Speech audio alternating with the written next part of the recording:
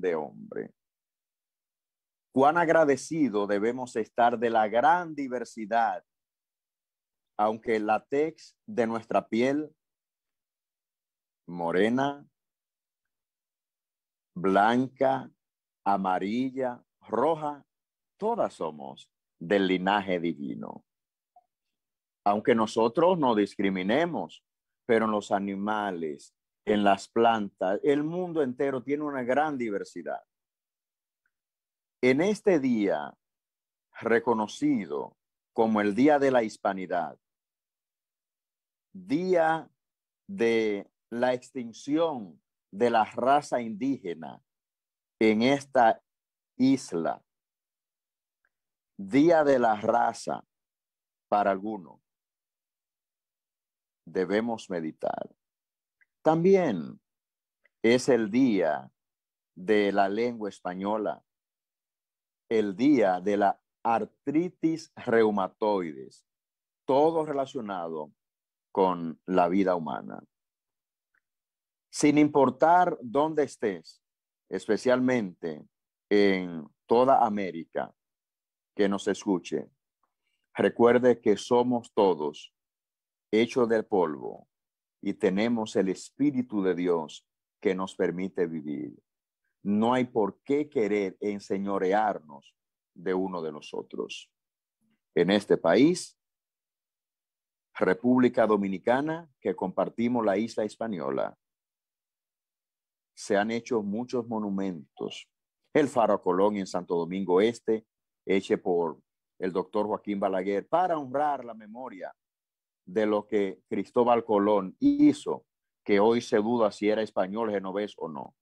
Lo cierto es que vinieron aquí por equivocación, que algunos consideran que fue un grupo de hombres que lo sacaron de la prisión y lograron sobrevivir y se llevaron nuestras riquezas. Y todavía siguen actuando de manera indiscriminada con el apoyo de nuestras autoridades por generación tras generación. En San Pedro de Macorís existe la Plaza Panamericana, hecha por el pasado alcalde, el arquitecto Ramón Antonio Chavarría Tony. Se hacían muchas actividades en el, en el Centro Recreativo Español, entre otros. Ahora, más importante que todas estas cosas, recordemos que este día Dios nos ha hecho y debemos vivir en paz. Todos los que vivimos en el globo terráqueo. Paz.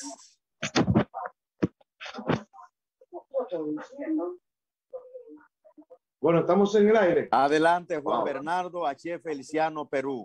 mi primo querido. disculpen, disculpen, amigos televidentes. Wow. Joan, ¿qué pasó ahí?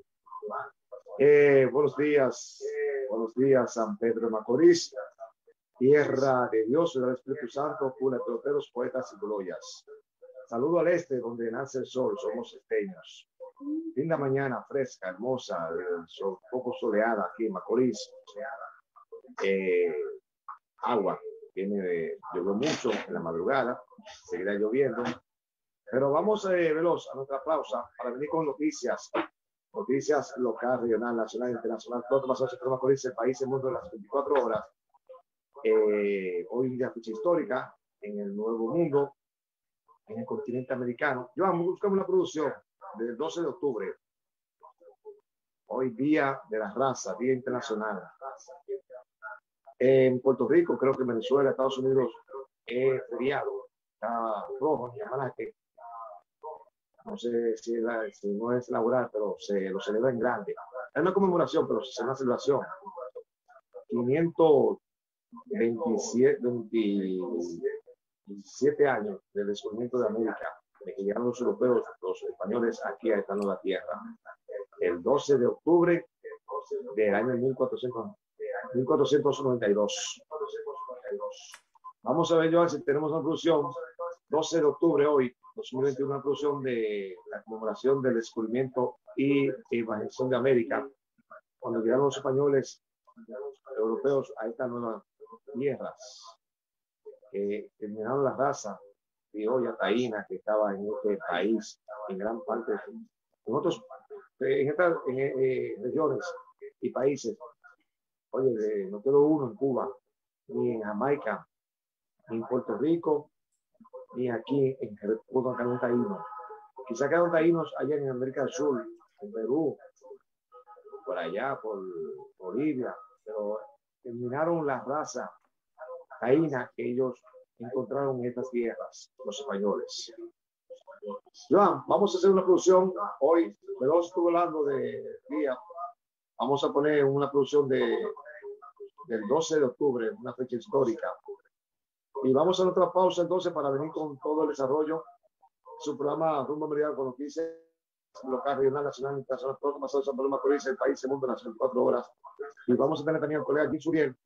No estuvo el tiempo, sigue la salió el sol, pero va a seguir lloviendo esta tarde. Son cinco días de lluvias. Veloz, en octubre se conmemora el Día de la Raza. Se trata de una fecha simbólica en la historia de nuestro país. Si aún no te queda claro el significado de dicha conmemoración, quédate con nosotros para entenderla de una forma sencilla. Esta fecha es mejor conocida como el Día de la Raza y representa el inicio de la conquista del continente americano por los españoles, propiciándose el intercambio cultural, comercial y religioso. Desde España, los reyes Isabel I y Fernando V apoyaron el proyecto de, Cristóbal Colón para explorar rutas marítimas hacia el occidente, para encontrar tierras ricas en especies y tesoros. Los reyes españoles nombraron a Colón como almirante, virrey y gobernador de aquellas tierras que pudiera descubrir. Además le otorgaron el derecho a recibir las ganancias que se pudieran obtener. Así, un 3 de agosto de 1492 partieron del puerto de Palos tres barcos, la Niña, la Pinta y la Santa María, al mando de Cristóbal Colón. El viaje tuvo una duración de 70 días, hasta que finalmente, una mañana del 12 de octubre, llegó el glorioso momento en el que Rodrigo de Triana, vigía de la Pinta, gritó que a lo lejos podía ver la tierra. Desembarcaron en el archipiélago de las Bahamas, al cual llamaron San Salvador. Con este hecho, los españoles lograron establecerse en el Caribe para marcar la conquista del continente americano. En México, en el año de 1929, el Congreso aprobó que el día 12 de octubre se celebrara el Día de la Raza y aniversario del descubrimiento de América.